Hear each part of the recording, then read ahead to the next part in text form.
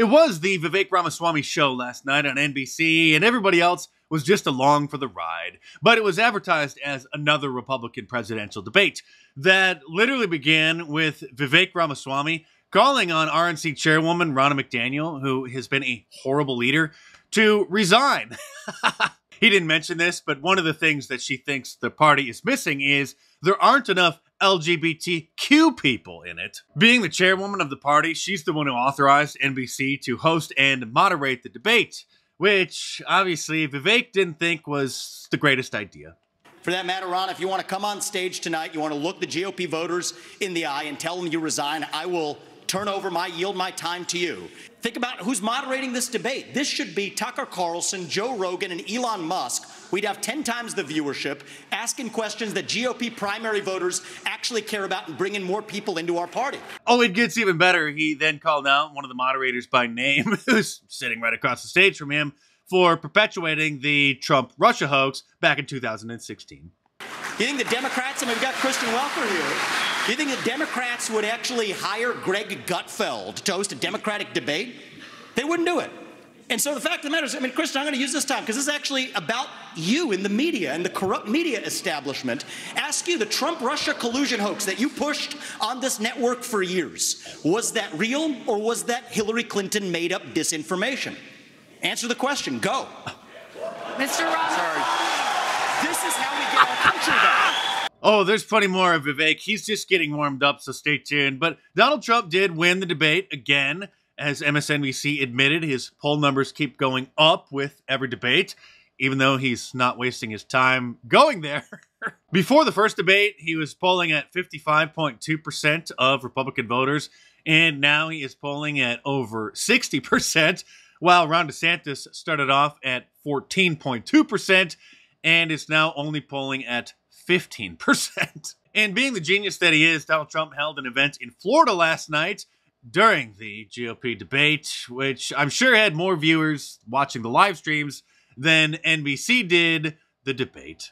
And uh, do you notice anything special about this patriotic American?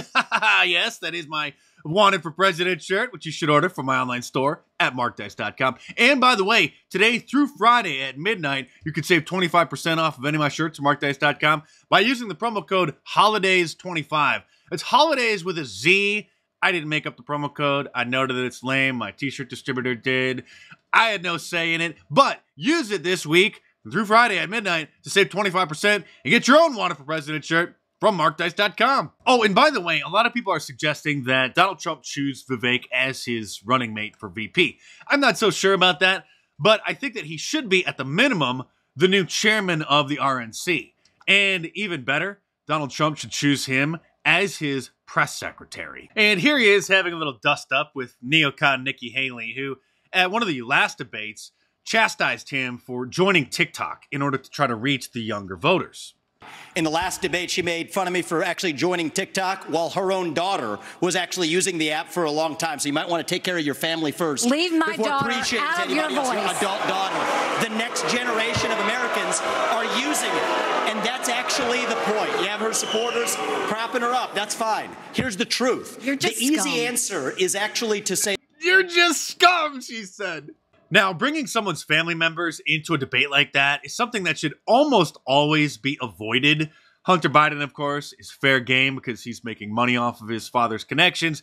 And this, I think, is fair game as well because she didn't just make fun of him for joining TikTok, she completely blasted him for joining the platform. And that's a fair point. If TikTok is so dangerous and toxic that it should be avoided at all costs, then why is she allowing her daughter to use it? But wait, there's more. It gets even better. Oh, and I almost forgot, Ron DeSantis was there. And to be fair, he did make some good points. And I'm also going to rein in the Federal Reserve. They have helped create, uh, with their reckless monetary policy, what we have faced since the COVID 19 pandemic. They botched it, Congress botched it, both parties are to blame. Fed should focus on stable prices. They are not an economic central planner for the American people. Yes, and thank you, Ron Paul, for educating the American people about the insidious nature of the Fed. Chris Krispy Kreme was there as well for the sole purpose of complaining about Donald Trump. But let's get back to the Vivek Ramaswamy show, shall we? Do you want a leader from a different generation who's going to put this country first? Or do you want Dick Cheney in three inch heels? All right, Mr. In which Ramaswamy. case, we've got two of them on stage Mr. tonight. Ramaswamy, thank you. Senator, uh, Senator Scott, yes. Senator, sa- same question to you about Now, that went over most people's heads. Most people thought that he was just talking about Nikki Haley because, of course, she's wearing heels. But if you're familiar with Bootgate, which went down last week, or the long standing rumors about Ron DeSantis appearing to wear lifts in his boots in order to make himself appear taller, then you would know when Vivek said that there are two of them on stage wearing heels, he was also talking about little Ron. And as you can imagine, the liberal media and I'm sure the pundits on Fox News, the Republican establishment, aren't very happy with Vivek's stellar performance last night. Another theme of tonight's debate, back back for an encore from the last debate, um, was just the the the deep, palpable, withering disgust that candidate Vivek Ramaswamy seems to inspire from his fellow candidates. He makes them say things you can't imagine they've ever said before in their lives. He makes them make facial expressions on the stage that you're quite sure they don't know they're making in public. Yes, because much like Donald Trump, he is saying the unvarnished truths that most Americans are thinking. So, of course, John McCain's daughter, Meghan McCain, a RINO, a Republican in name only, tweeted out that Vivek is just a hideous, crazy person. Oh, and by the way, Frank Luntz, Frank Dunce, the famous pollster who I believe is literally roommates in Washington, D.C. with Kevin McCarthy. He posted this shortly before the debate praising Ronna McDaniel, saying that she is the GOP's secret weapon, an amazing speaker and smart strategist. So you know that she's terrible. And I don't know what was better, Vivek calling out Ronna McDaniel to kick off the debate and ridiculing the network that she chose as the venue to host it, his comments about Dick Cheney wearing heels, or his closing remarks here. I also want to close with one message to the Democrat Party. End this farce that Joe Biden is going to be your nominee. We know he's not even the President of the United States. He's a puppet for the managerial class. So have the guts to step up and be honest about who you're actually going to put up so we can have an honest debate. Biden should step aside, end his candidacy now so we can see whether it's Newsom or Michelle Obama or whoever else. All right, Just Mr. tell us the Ramaswamy, truth so we can have an honest debate. up. Ambassador. And here is CNN's post debate coverage where David Axelrod, who was Barack Obama's senior advisor, admitted the obvious. Look, first of all, this debate is sort of odd because it's like the silver medal round. It's like the gold medal winner has already been declared, and this is the silver medal round. And now it's come down really to two candidates, Haley and DeSantis. The problem is that Trump has such a large lead nationally that uh, it, it just may be meaningless. So what are they? Meaningless, he says. Yeah. Look, look at the state of Florida.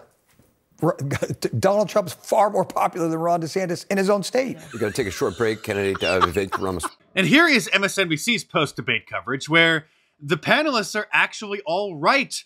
I felt like I was in the twilight zone because I've never seen this accurate of an assessment of a situation on MSNBC ever.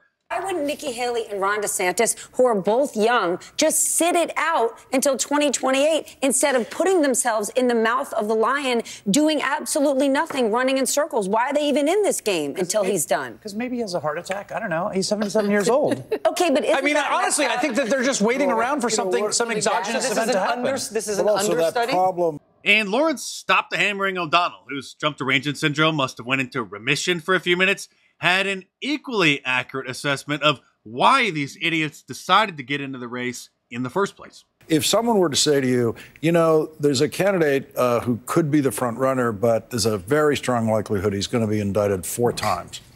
Uh, you might want you might want to get a campaign ready to run against him. These decisions to run were all made before he was indicted once, and so they had good reason to think this could be a frail candidacy for Donald Trump as the indictments mounted up. They now have information that they didn't have at the beginning. Yeah, that 60% thing didn't exist. He's talking about Trump being at 60% among Republican voters with Little Ron still lagging behind in second place at 15%.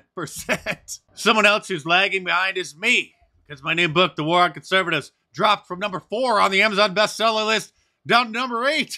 but it still is beating Ted Cruz at the moment. So head on over to markdice.com or click the link in the description below and order yourself a copy or two. Get some for Christmas. I doubt we're going to get to number one because these are some very big celebrity names with books going up against Britney Spears and Barbra Streisand and this uh, romance novelist.